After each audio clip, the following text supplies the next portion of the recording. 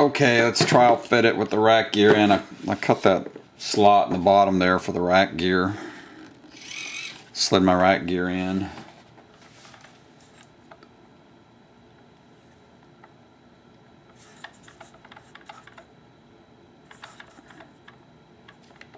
That spinner may not be all the way down. We may be able to get it a little bit closer.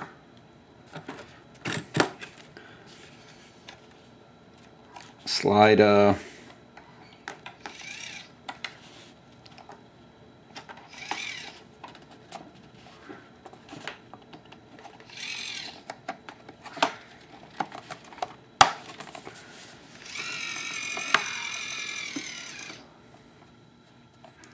Yeah, that looks good. In airplane mode, nice. Little higher in the back, just a fraction. Good fit. Good space.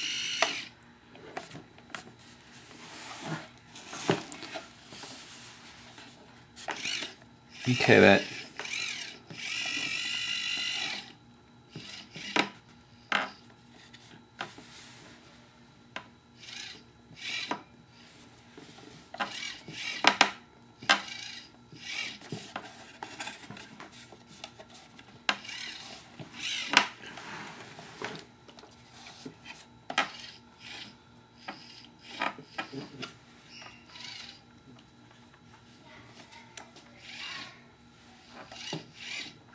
Okay,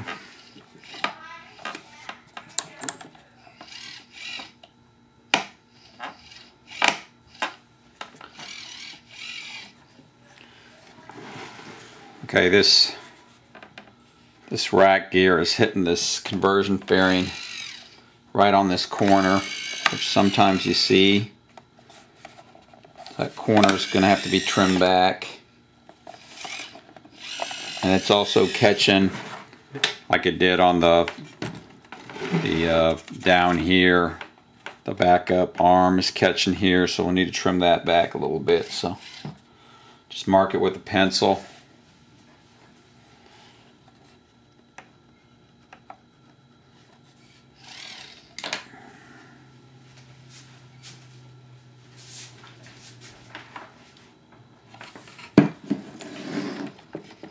Pull it off part way to get enough room.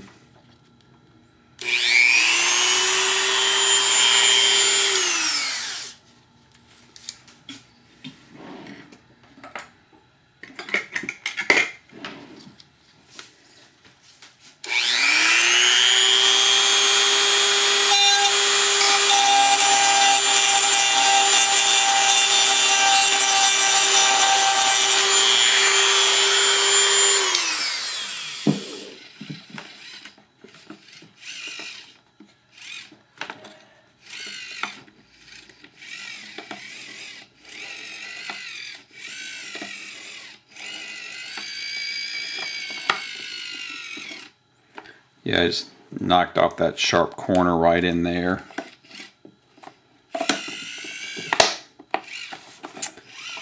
And I'll mark it here again where uh, the rack gear hits.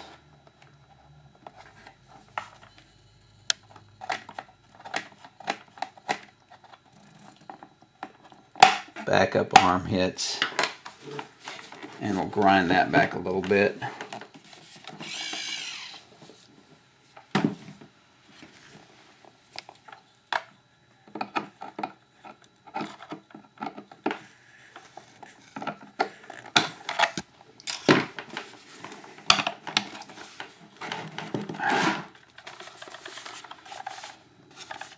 The same thing we did. That other one will just drop it down in this area.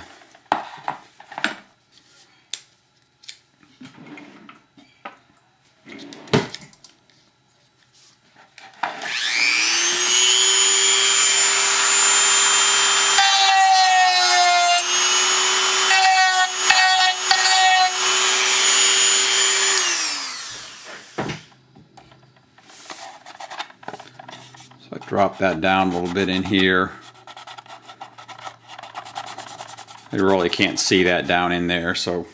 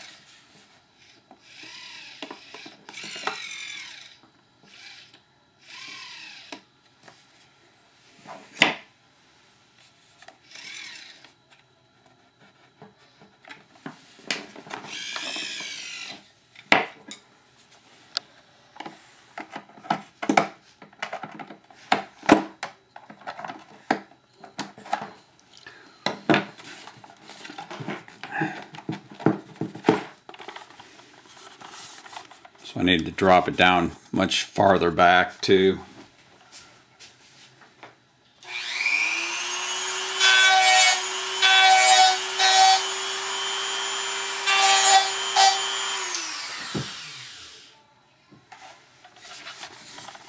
So I ground that back. It get hits that front of that screw here and the back one back here, so you kind of got to get a wide dish in there.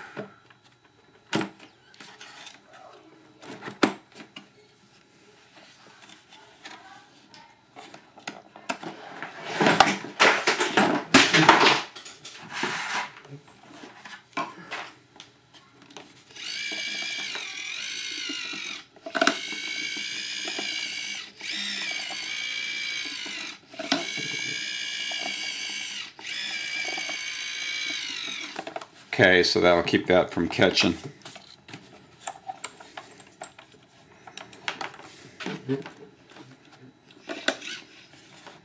Not too bad of a joint, not quite as nice as the other one. And the spinner gap is bigger than the other one. Uh, just make sure that spinner's down all the way.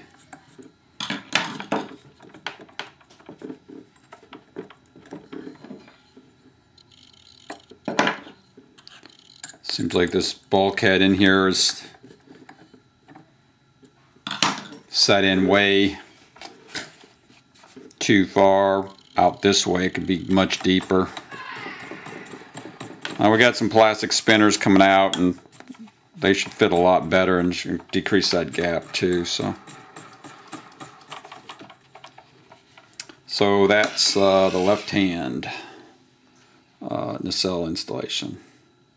I will take that back apart and then hook everything back up.